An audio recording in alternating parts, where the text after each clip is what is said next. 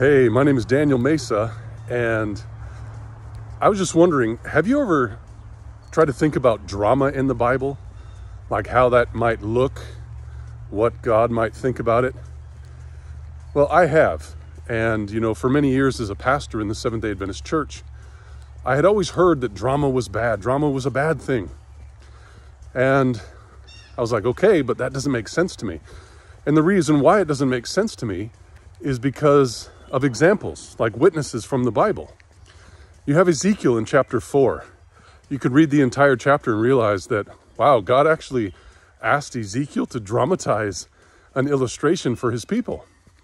Well, then, in chapter 20 of Isaiah, you realize that God had asked Isaiah to literally walk around naked for three years without shoes on his feet and without loincloth. You know, you're wondering, okay, what's that about? Well, you can read why it's there. You can also see that in the sanctuary, God had laid it out very clearly for his people to be able to exemplify him and his characteristics, his plan for salvation in all of the sanctuary service. In fact, they came to the point where men were asked to represent Jesus Christ, the Son of God.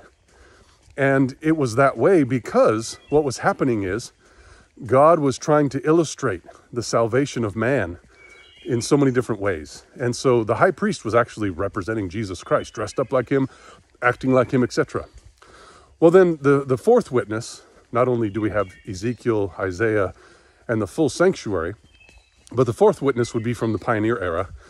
Sister Ellen White was able to write in, notice the year now, 1888 about her granddaughter who had dressed up for a Sabbath school class, which was a play. Her granddaughter was an angel. And she represented that to be a great thing that could have been done even better.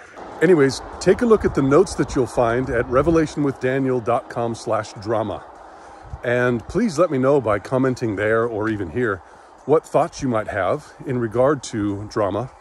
This is not saying that everything dramatized is good because there's a lot of evil, but certainly I think we've been misled by some of the commentators and uh, how would you say compilers maybe that have looked at Sister White's writings and have not looked at them balanced. Anyways, um, we can say that not everything drama is good, but not everything drama is bad either. So let's try to find out the balance and the truth regarding how God has used drama to illustrate many things in his own personal activities through his people.